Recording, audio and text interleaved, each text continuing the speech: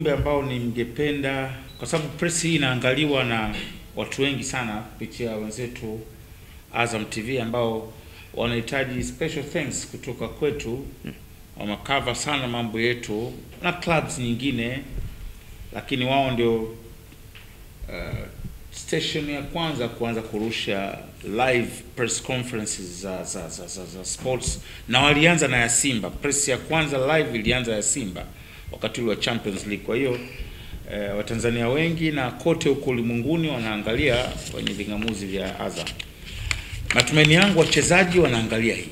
Sababu jana nilikuwa nilikuwa naongea na baadhi ya wachezaji kama kesho tuna press.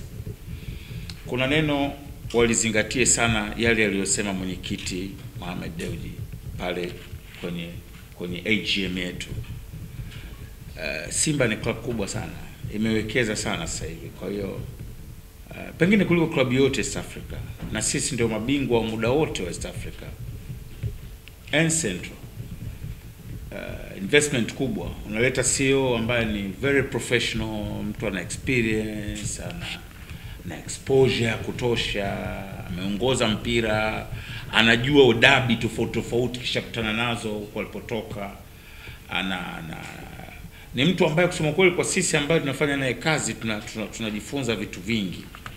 Umeona approach yetu sasa hivi, umeona mabadiliko ya uendeshaji wa sasa hivi. Simba tena hatuna secretary, tushavuka huko. Hii ni ni, ni, ni, ni, ni corporate, hatuwezi kuwa na secretary tena. Secretary tunavyosikia vyama vya siasa, hii ni management guys eh? Sasa sasa tunajifunza tunajifunza tunajifunza kitu, ametuletea kitu kizuri, namna ambavyo uendeshaji wa ofisi taasisi eh, mnaona eh, nidhamu sasa hivi ya, uendeshaji wa taasisi yetu. Umeona namna ambavyo hata Haji sasa hivi anavyo anavyozungumza eh, na- nabadilika kutokana na mazingira na na, na, na muda na aina ya, ya, ya management kwa maana CEO anavyotoa maelekezo yake. Sasa naamini na wachezaji nao wanalijua hilo, washabiki wetu, wapenzi wetu, bodi ya wakurugenzi chini ya mwenyekiti hawana wanachokihitaji zaidi ya yale aliyozungumza bwana Mohamed siku ile pale. Nadhani hiyo message watanielewa hapo, na, na, na ningependa sana isimame kwao kwenye vichwa vyao. Yaani hatuwezi kuinvest alafu tukawa tukawa tena tukawa haiwezekani, Sheikh, haiwezekani. Asanteni. Any question? Maswali? Na wali wali wali walipata tabu sana katika uingiaji pale Uhuru.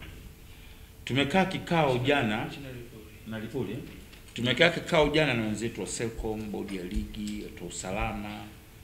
Hizo changamoto kweli zinatokea mara kwa mara, hasa kwenye big match, na tumemwambia mwenzetu Hashim Baga ambaye ndio director wa wanachama na washabiki.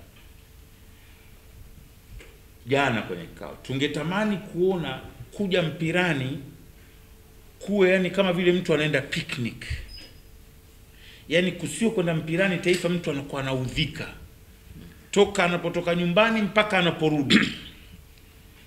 Umeona wakati fulani tuliandaa hapa zile platinum platinum ticket zilikuwa tunawachukua watu wanakuwa na kawa. Sasa tuna viwanja tu- tu- tuna gates nyingi tunaomba watu wetu wa uwanja wa Taifa, management ya uwanja wa Taifa iziachie baadhi ya gates. Unajua shida kubwa ambayo mimi naiona kwenye big matches, baadhi ya mageti yamekuwa hayana utamaduni wa kufunguliwa. Yaani unajua ni kama vile vituo vya polisi, huwa mageti yake hayafu- hayafungwi. Milango ya baadhi ya eh, baadhi ya milango ya uwanja wa Taifa imekuwa na utamaduni haifunguliwi toka imejengwa. Yaani hiyo tu ndio changamoto ya kwanza, ndio hiyo kubwa. Nyingine zote zitakuwa ni bla bla tu. Kubwa ni kwamba serikali management iruhusu baadhi ya gates open zifunguliwe. Tunafungua gates tatu nne, watu elfu sitini wamejaa mle. Mungu atuepushie mbali. Likitokea kutokea, una, unawezaje? Unaangalia mechi kubwa Europe au hata nchi zilizoendelea, kwa mfano South Africa au Egypt au Tunisia, wapi, mechi ikishaisha baada ya dakika mbili uwanja mweupe, kwa sababu magates yako mengi, watu wanaondoka tu. Sisi tuna shida, tunafungua only four gates, three gates. Hiyo ndio changamoto kubwa ambayo watu hawataki kuisema. Sasa mimi naomba niiseme wazi. kwamba tujitahidi kufungua mag... ukishafungua mageti watu elfu sitini shekhe wanaingia kwa dakika tano tu. Tuna gates nyingi sana pale na wanatoka kwa dakika tano tu, tayari wanafungua gate mbili. Hiyo changamoto haitakwisha kama management haitakubali kutumia mageti mengi zaidi ya uwanja wa Taifa. Haitakwisha, tutaongopeana tu, salama, watajitahidi, watajipanga. Changamoto ni gates za uwanja wa Taifa hazifunguliwi, milango ya uwanja wa Taifa inafunguliwa michache. Labda niseme hii inaweza ikawakera watu au wakatoa sababu nyingine, lakini hiyo ndio fact ambayo haipingiki. Tunaona mechi kubwa Europe, tunaangalia mpira kila siku. Baada ya mechi refa akishapiga filimbi only 2 minutes, majukwaa matupu. Lakini hapa kuna na msongamano mpaka wakati wa kutoka, tena wakati mwingine mpaka VVIP tunasonga, watu wanasongamana. Guys, tusaidieni na nyinyi muipush management ya Taifa ianze kuliona hilo. Lakini na changamoto ya pili, msongamano unatokana na watu kuchelewa.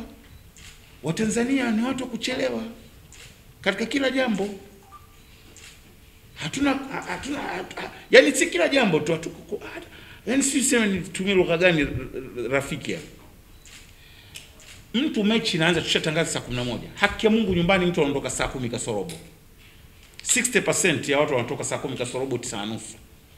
Hawa wote kwa mageti matatu ya uwanja wa Taifa watu elfu sitini wataingiaje? Lazima kutakuwa na challenges hizo. Tuanze kuwa na utamaduni wa kwenda mpirani mapema, pamoja na hizo mageti machache, lakini utamaduni wetu wa kuchelewa. Hii leo tumeambiwa mwisho kusajili laini ya simu tarehe 31. Wallahi kosa rahisi ku, kuongeza muda. Tungekuwa sasa hivi tungekuwa hatufiki hata laki laki tano ambao tuna tunawasiliana. Tuna kawaida tu ya kuchelewa. Passport tumeambiwa mwisho tarehe 31 Januari.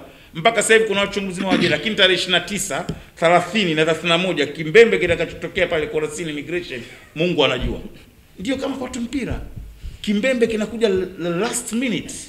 Sasa na nyinyi mtusaidie media kuwa, kuambia kujenga utamaduni mpya wa watu kuja viwanjani mapema, lakini tusaidieni watu wa serikalini na watu wa uwanja wa Taifa wafungue gates. Hizo changamoto zikishamalizika, basi wala hizo unasema Charles hazitaendelea. Haji, naomba niongezee hapo kwenye mpaka tukamilishe kila kitu. Hatuwezi leo tunamtangaza mchezaji tunaambia sio tujamalizana na magereza, tujamalizana na TFF. Level ya Simba ni kubwa sana. La mwisho tunakwenda na kauli mbiu inaitwa one touch kwenye game hii. This is our slogan. You guys, naomba kila kinachoandikwa kwenye kuhusu Simba tunasafiria na neno one touch. Only Three points. three points. One touch, three points. Hashtag yetu ndio hiyo. Eh?